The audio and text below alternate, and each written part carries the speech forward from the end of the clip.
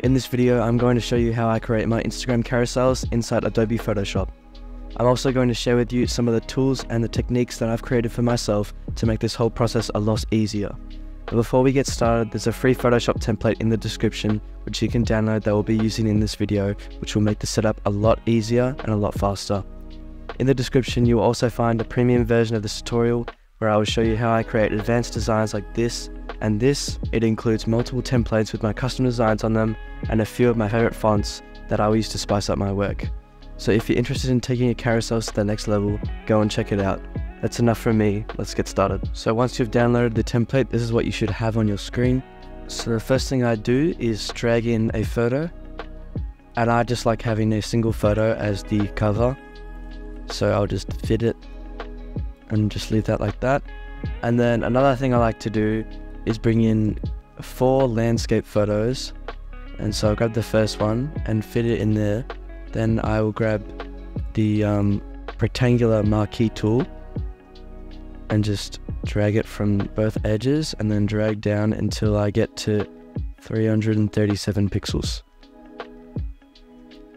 Then if it's not perfect, if the car's not perfectly in the middle, I right click and then click transform selection and pull it down until the car's about in the middle. And then click down here the mask button. Then I will drag this back up like that. Then I'll grab another landscape image and do the exact same thing. And for the last image, you don't have to mask it. Just come in here, resize it, and then drag it to the bottom. And then you can just drag it until you like where it is. Another thing I like to do is drag in a landscape photo of the car and then resize it to fit over two slides. Then I will duplicate this layer twice because there's two cars and then on the first one I will cut out the car with the polygonal lasso tool. Then I click the mask button and then I'll click on the second layer and cut out the other car.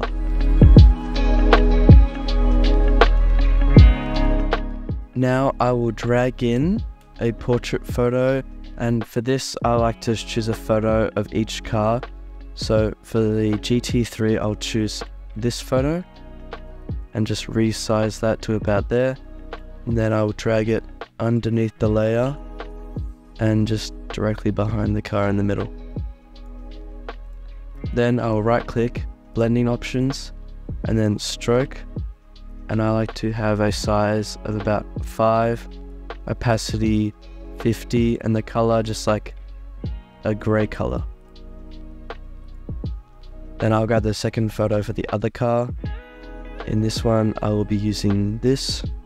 And then I like to drag it over the other photo and resize it so it's the same size. Then align it, have it behind the middle of the car, then right click, blending options, and then stroke.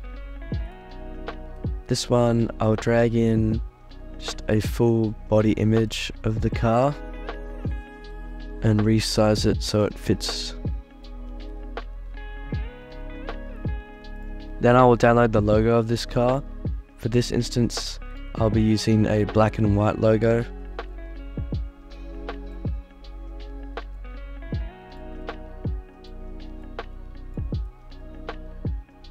Have it nice in the middle. Maybe a little bit smaller.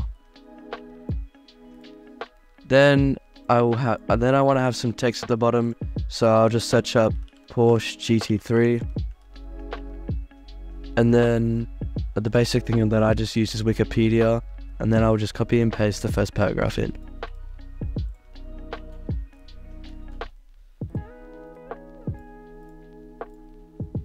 Then I'll just drag it into the middle, and there you have it. Because the text is white, I also want the logo to be white. So I'll click on the logo, blending options, stroke, make this size the max it can be, inside, and then color white and opacity 100%. And there you go. Now that we're finished, it's time to export. So you want to go to Artboard 0 select all, then duplicate all the layers, and then right click them all again and click merge layers. Then you want to drag this merge layer down to Instagram panel 1 and then you can turn off the visibility for Artboard 0. Then you want to alt drag to the next panel and then drag this along till you see the next panel. And then keep alt drag, drag it along, alt drag, drag it along, and just keep doing this until you're done. Now that you've finished, click File, Export, Artboards to Files, and then browse and choose your folder. Then you want to have the file as JPEG and then show export options and have the quality to the max and you can just copy my settings here. Then click run. And it will come up with a little notice that shows that you're done and click OK and now all your files should be exported and here you go.